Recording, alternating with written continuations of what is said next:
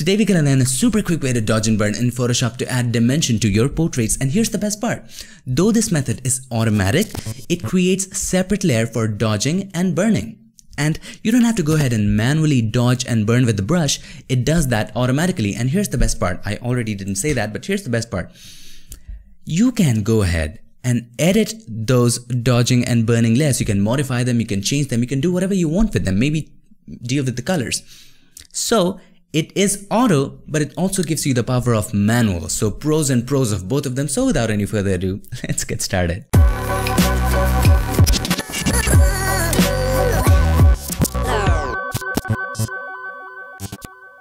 So here we are in Photoshop and if you want to download this photo, make sure to go ahead and check the links in the description. So let's have a look at the before and after. So this is the after and this is the before you can see a radical difference in both of them. Now, apart from dodging and burning, I must tell you, I have applied a lot of other things to it, curves, frequency separation, eye retouching, and we have videos on all of these topics already. So we're not going to cover all of that. So let's have a look. So this is the before, and then we corrected the skin tone using curves. Okay. There's a video on that. You can check out the video right here or links are in the description to all of these topics. Then a little bit of frequency separation to soften the skin, just like that and eye retouching just a little bit. Look at the eyes and then dodging and burning. And this is what we're going to cover in this video. So this is the before and this is the after dodging and burning.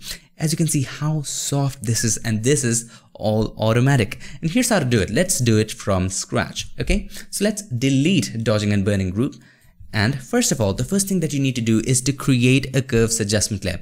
Really simple, click on the adjustment layer icon and click on curves. And just a quick little recap, what is dodging and burning? Dodging and burning is brightening and darkening particular areas of the image to add dimension. Dodging is brightening, burning is darkening, right? We burn things, it becomes darker, just remember, remember it that way. Now, think of it like this. Think of it like a circle, right? A gray circle. If you brighten a particular side of it, and darken the other side of it, what does that become? It becomes a sphere, right? It has now a dimension. So that's pretty much what dodging and burning is. More details in this video, links in the description. All right. Now take the curves up just like this. And right now we are dodging, okay? We want to brighten the areas which are already bright. So here's what we do. Double click on the right hand side of the layer to open up the layer styles dialog box. Okay. Another way is right click and choose blending options. So two ways of doing the same thing. Double click on the right hand side of the layer. This opens up the layer styles dialog box. Now take the slider of the underlying layer under the blend if section from left to right. There you go. What this does is that it deletes the dark areas and listen to this carefully. It deletes the dark areas of the underlying layer, which means the layers which are beneath it. The combined effect of all the layers which are beneath it, it deletes those dark areas of the underlying layer from the current layer. So whatever areas that was dark in the underlying layers, those areas will be deleted from the current layer, which is a curves adjustment layer. Okay. So take it like that. These areas will be brightened. So it seems nice to me. Now this is quite harsh, right? Hold Alt or option, click on this slider. It just separates those two sliders and you can make it smoother by taking these apart.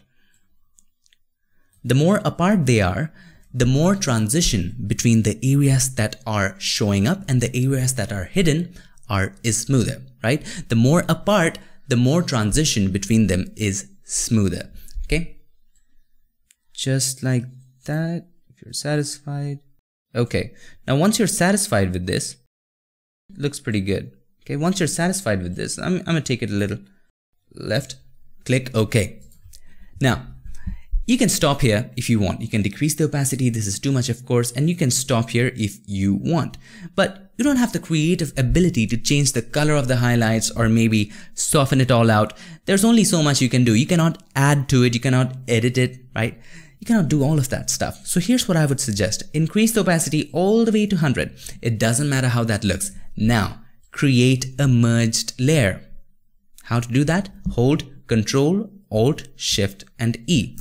Command Option Shift and E if you're using a Mac. Now this creates a merged layer of everything that you see on the canvas on the screen right now. Now I want you to turn both of these off, the curves off and this layer off and create a new layer and create a merged layer of everything without the dodging. Okay, Control Alt Shift and E. Okay, there we go. So this is the normal one and this is the one with the dodging. So let's bring the dodging up so that you can understand it well. So this is the normal, this is with the dodge. Now, how to have just the dodge on a separate layer? Any ideas, any guesses? You guessed it right, if you guessed it. If we, and listen to this carefully, if we subtract, okay, if we subtract the normal layer from the dodge layer, what will we have left? Just the dodge areas, right? Let's name it so that you can understand. So this is the dodge and this is the normal, right? Now, if you have the dodge layer and if you delete the normal from the dodge, what will you have left? Just the areas in which you dodged, right? And you can edit that to your heart's content. And here's how to do it. Normally we use this in frequency separation, but once you understand the concept, you can apply anything anywhere in Photoshop. So it's very essential in Photoshop to understand the concepts than to understand the techniques or the steps. Okay, so go to image, then apply image. Now inside of apply image, let's select the layer which we want to subtract. So layer normal, we want to subtract the normal from the dodge. Dodge is already selected. Now Let's select the blending option, subtract, very obvious, right? And make sure the channel is RGB. Now here comes the option to choose scale and offset. Okay, scale is the amount of subtraction. The maximum value of scale is 2 and the minimum value is 1. It doesn't really matter in this case because you can always go ahead and decrease or increase the opacity. So let's choose the one which has the maximum effect. So if we choose 1, we can see more of the bright areas, right? So let's choose 1. That's, that looks fine. Now what is offset? Offset is the color of those areas, listen to this carefully, offset is the color of those areas with complete 100% subtraction. Now what do I mean by that? In normal layer, this area was white. Even in dodge layer, this area is white. So the subtraction of both of them is what? Nil, right? Zero. So Offset determines the color of those areas of which the subtraction is zero, subtraction is nil, okay? It's like same number minus the same number, it's just nothing, right? If the offset is 128, it means that those areas are filled with 50% gray.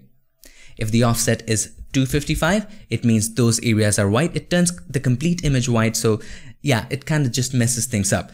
Keep the offset 128. It is 50% gray. If you keep it 0, it's black. Okay? 128 is fine. Now, why 128? Let's just check, check this off. I checked on mm, by mistake. Check off preserve transparency and check off mask. Make sure both are unchecked. Now here's a very important thing to understand. The values of RG and B can be represented in numbers. The minimum value is 0 and the maximum value is 255. So 128 lies in the middle. Now you might think 128 is not the half of 255. Now here's an important thing also. Consider 0. So there are in total 256 values. How? 1 to 255 plus 0 right? 0 is also a value. So in total, we have 256 values. So the half of 256 is what? 128. So we set the offset to 128, which means 50% gray. Now, why 50% gray? Because we're going to use blend modes like overlay, soft light, which deletes everything, which is 50% gray. Hit OK once you're satisfied and then delete the curves adjustment layer. We don't need it.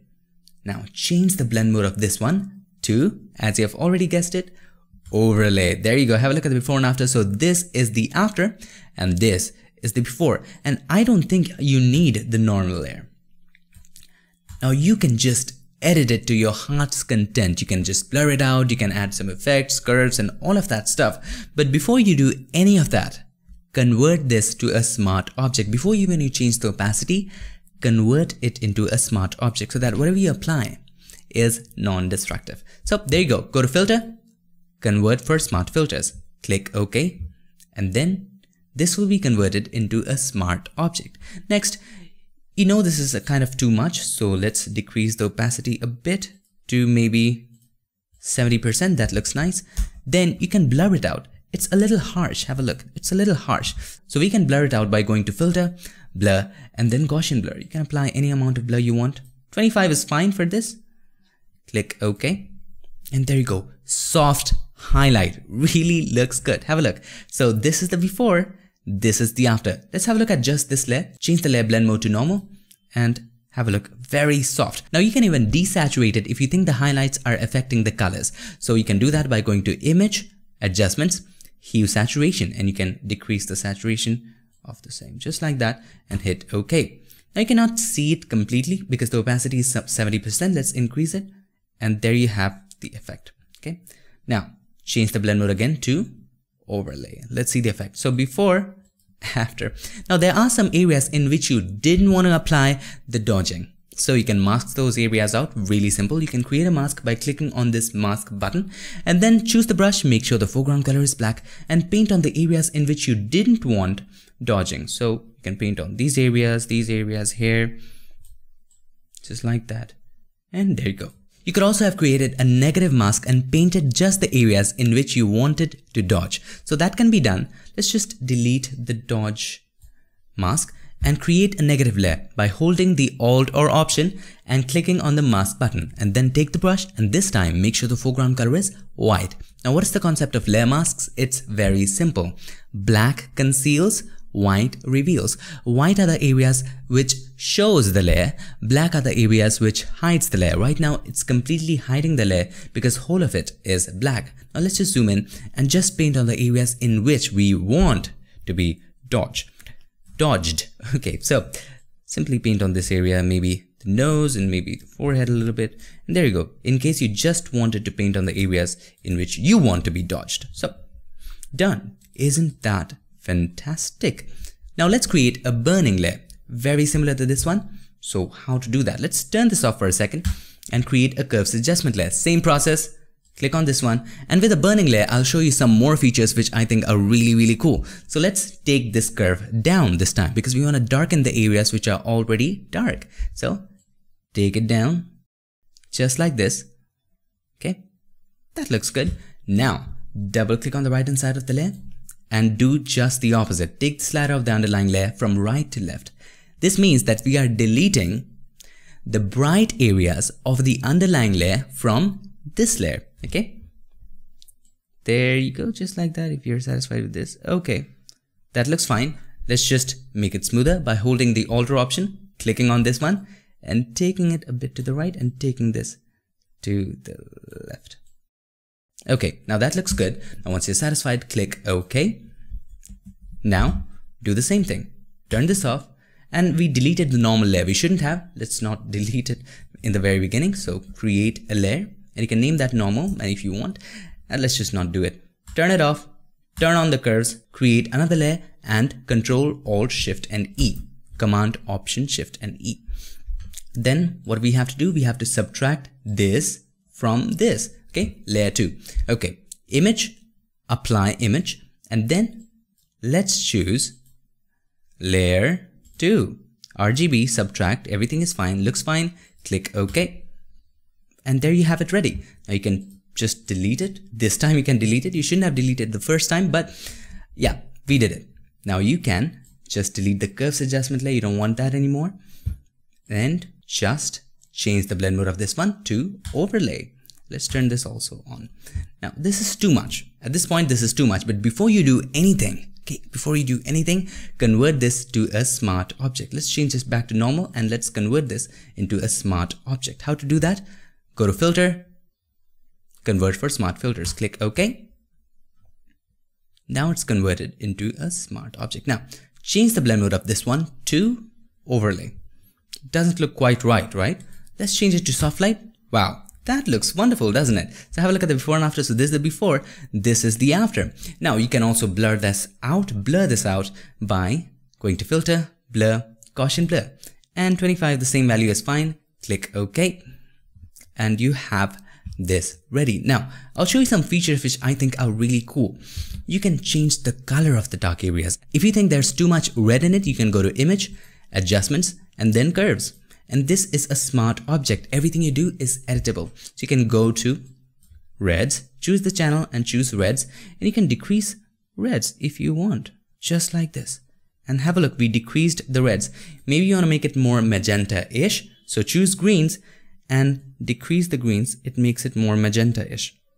Or increase the greens if you want it to be less magenta-ish and more greenish. So I'll, I'll leave it at probably this and click OK once we're satisfied. And there you go. Now it has burned areas which we didn't want to burn like the eyes it has also darkened the eyes have a look at the before and after so before after it has also darkened the hat and the hair so how to hide that Simple, create a mask, right? Create a mask, positive mask, and take the brush, make sure the foreground color is black by pressing X to toggle between the background and the foreground color, and then just paint in the areas in which you didn't want it to be burned.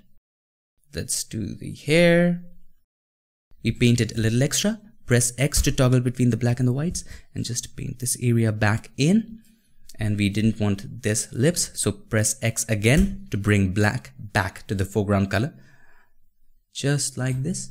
And the eyes. Now there are some areas just like under the eyes where you didn't want it to be darkened so you can paint that as well. As I said you can edit these layers. Okay just like that. And you can just paint on the areas which you didn't want it to be dodged. So like this for example maybe this top of the nose, for example. So as I said, this is completely editable, right? And you can also go ahead and decrease the saturation of this one if you think this is adding a lot of colors to this. So you can go to image, adjustments, hue saturation. Hue saturation is grayed out. Why? Because the mask is selected. So we need to select the layer and then go to image adjustments and then hue saturation. Now let's decrease the saturation just a little bit. If we make it minus 100, doesn't make any difference. So Let's keep it at minus 30-ish. That's fine. Have a look at the before and after. So this is the before and this is the after. Now you can go ahead and decrease the opacity if you want. This is of course too much. Set it to maybe 50-ish. That's fine. And there you have it ready. Now you can make a group of both of these and you can name it burn. And hold the control or command, select the other one, and then press control or command G. Now we have a group. You can name this dodge and burn. And there you have it. Have a look at the before and after. So this is the before and this is the after. And in every way you can edit this. You might ask how? Well it's very simple. You can erase you can add. How can you add? You can just rasterize this layer. So right now we are in this layer. We can rasterize that by right clicking on it and choose rasterize okay? But once you rasterize it every effect is burnt into the layer. Now you can just, let me just change back the blend mode to normal so that you can see and opacity to 100. Now if you want to delete an area to be burned, you can just paint gray in that area because gray is a color which will be removed once you apply soft light or overlay. So this is just for indication purposes to show how things will work. So you can set the foreground color to say 50% gray, say 808080 is the shortcode of that, click OK, hex code, and the background color to black. Now you can also desaturate this by going to image, adjustments and desaturate. It doesn't really matter. Now you can take black, decrease the flow to somewhere around one or maybe two to add to it. So if you want to darken this area, you can just simply paint with black on that area, just like that. If you want to delete some areas, press X to set gray as the foreground color and paint in this area just like this. Now once if I change the blend mode of this one to soft light, you'll be able to see that. So you didn't want this area to be darkened, so you will make sure the foreground color is gray and then just paint in that area. Maybe I'll just increase the flow to show you what exactly happens when you do that. There you go. That's how it works. If you want to delete this area, Wonderful. Now you can go ahead and infinitely edit this the way you want. If you want to darken an area, press X then you can just darken this area a little more, this area a little more, and there you have the idea. I think it's too much, but you get the idea. Similarly, you can do this with the dodge layer. So that's how you can really go ahead and modify this with filters and brushes and go manual all in. Now you can create actions for both of these layers by going to windows and then actions and inside of action just hit the record button create a new action hit the record button and create that curves the blend if and you get the whole picture right so you can just in the click of a button create both of these layers and just have the ability to manually go ahead and adjust those sliders. You can do that by just clicking on this box and I already talked about actions in this video. Just check this video out right here in which I create an action for skin softening so that you'll get an idea on how to create that action. Now, at this point you might think this is too much so we'll go ahead and decrease the opacity to around say maybe 60%, that's fine. Let's have a look at the before and after. So this is the after, this is the before, and this is the after. Now we did this very quickly and this is the final image before and after. So that's pretty much it for this video. That's how you can auto manually dodge and burn in Photoshop by applying curves and then blend if and then the amazing method of subtraction. And that's all there is. Just remember, create a curves adjustment layer, bring it down for burning, bring it up for dodging, and then create merge layers, one with the dodge and one normal, or one with normal and one with the burn, and subtract both of them, you will get just the dodging and the burning layer. Then you can change the blend mode and then apply whatever effect you want. You can mask it out, you can play with the brushes, and there's a lot of other things which you can do we, which we discussed in the video. I hope this video was helpful and if this was, make sure to give us a like and also don't forget to subscribe and not just subscribe, ring the bell so that you my friend don't miss a thing. I'll see you guys in my next one till then stay tuned and make sure that you keep creating.